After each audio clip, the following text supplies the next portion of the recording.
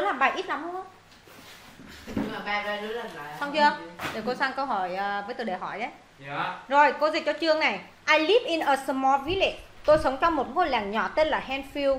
Có khoảng 500 người sống ở đây. Ngôi làng này rất là yên tĩnh và cuộc sống ở đây thì chậm và dễ chịu. You never have to queue. Bạn chẳng bạn phải bao giờ xếp hàng khi mà bạn đi mua sắm hoặc ở ngân hàng People never throw their rubbish in the streets. Mọi người chẳng bao giờ ném rác ra đường. Vì thế ngôi làng rất là clean, à, sạch sẽ. DE thì luôn luôn sạch sẽ bởi vì không có nhiều heavy traffic, không có nhiều giao thông. À, và ở đây thì thân thiện hơn nhiều so với thành phố. Mọi người biết nhau và khi mà ai đó có vấn đề gì đó thì luôn luôn có người có thể giúp đỡ bạn. Tuy nhiên thì có một vài thứ mà tôi không thích về Henfield một trong cái thứ đó đó là gì? Không có nhiều thứ để làm vào ban đêm. Chúng tôi không có nhiều cinema Ờ. hoặc là theater.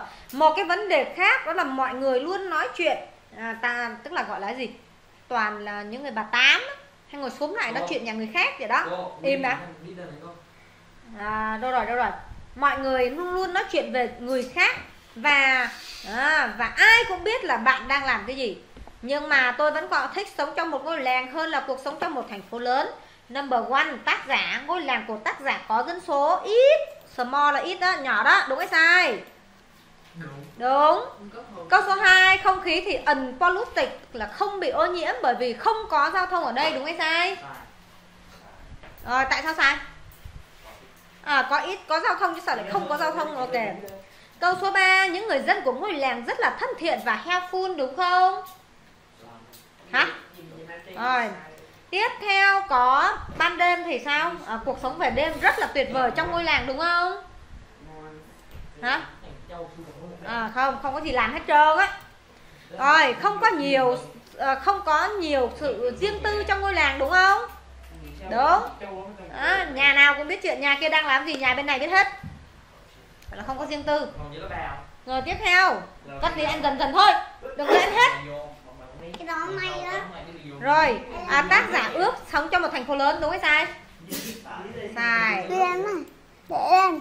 Rồi xuống bài số 11 đi. Viết lại câu mà nghĩa không đổi nhá giống nghĩa của câu thứ nhất mà xài một cái loại cấu trúc khác. Ok viết chưa? Thì viết đi. Rồi cô sang bạn kia cái câu 1 à, lần cuối cùng mà chúng tôi đi tới cinema cách đây 2 năm rồi. Vậy là ai we haven't gì Gon đúng rồi con chuyển hàng hiện tại hoàn thành cho cô. Gon chú. Ờ Xin em cinema. For à, có ở gâu nữa không vậy hả? Vứt ở gâu đi chứ? For Georgia thôi. Rồi uh, we haven't gone to a cinema for Georgia câu 2 chuyến đi the journey là chuyến đi tới ngôi làng rất là thú vị với các cậu bé. Các cậu bé cảm thấy như thế nào? Interesting nghe chưa? Không phải interesting nữa mà con phải biến đổi thành interesting. Interesting. À, cảm thấy rất là interesting. Gì nữa? In the journey. In the journey. In the journey. In the journey. À, to the village. Câu tiếp theo. À, anh ta đã mua một uh, rất là nhiều sách đến nỗi anh ta đọc không hết á. Sâu gì? Sâu bút quá nhiều sách. Anh ta mua quá nhiều sách. Sâu bút câu này hơi khó ha. Mấy bạn kia lo mà viết đi chứ sao mà cái ngơ Xong ngơ viết thêm một vài từ đi chứ nếu tôi biết nữa nữa thì viết đi. À, sâu bút bây giờ con phải khi mà cái sâu đứng đầu câu con phải đảo ngữ cho cô. Sâu bút này quá nhiều sách này. Sâu Cô. Của nó là xong rồi là did he buy. Con để did đầu câu cho con tức là đảo ngữ à, bút Mình did he không? buy. Sâu bút did he Cơ buy. nha sâu bút did he buy. That he couldn't đằng sau viết lại. That he couldn't read them all. À, so books did he buy. That he couldn't read them all. Khi mà sâu đứng đầu con đảo cái did vào đầu câu câu số 4 nào. Bố mẹ của anh ta cho à, bắt anh ta học hành cho kỳ thi. Và anh ta gì? Bị bắt buộc là nói sao? Bị động con. He was made gì nữa? À, what made study study for the exam bởi ai? By his parents. Rồi câu tiếp theo. À, bạn hả Cô cho nửa không? Cô bạn không nên từ bỏ công việc của bạn. Trên nói với an. Rồi khuyên bảo nào? Trên khuyên ai?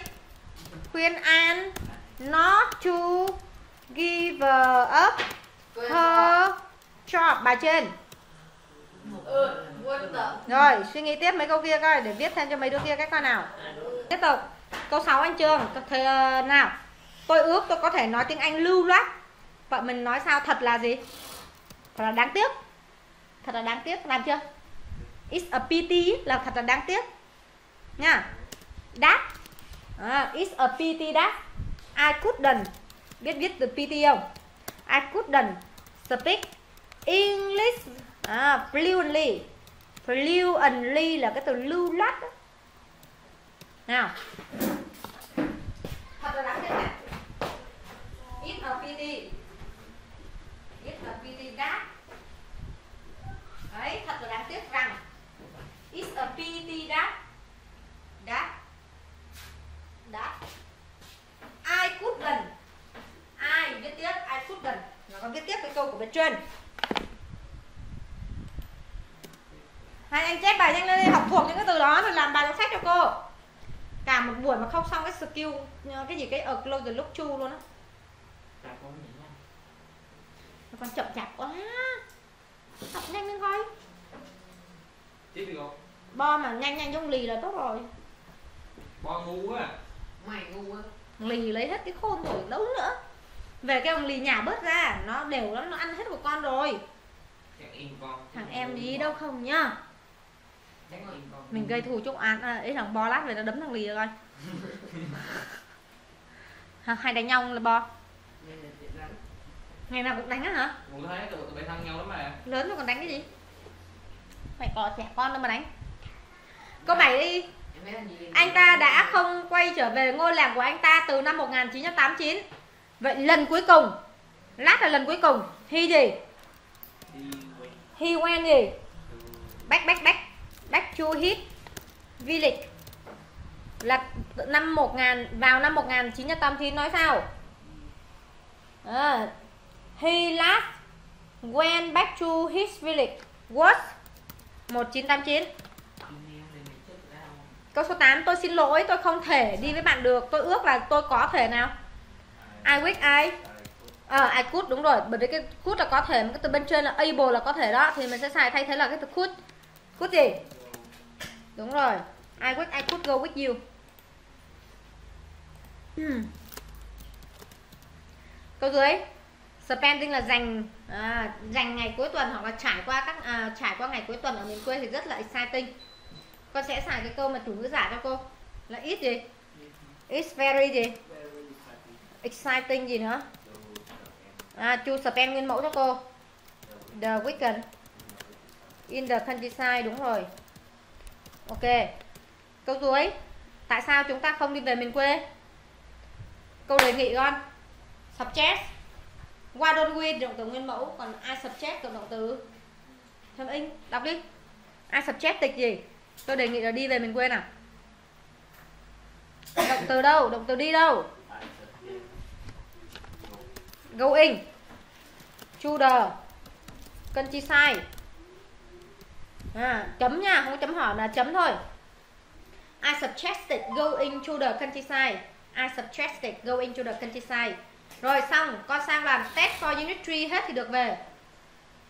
Hết cái test này mới được về đó làm đi con về nhà phải làm thêm sách trắc nghiệm nữa. Mình đâu có thời gian cho đây nhiều đâu.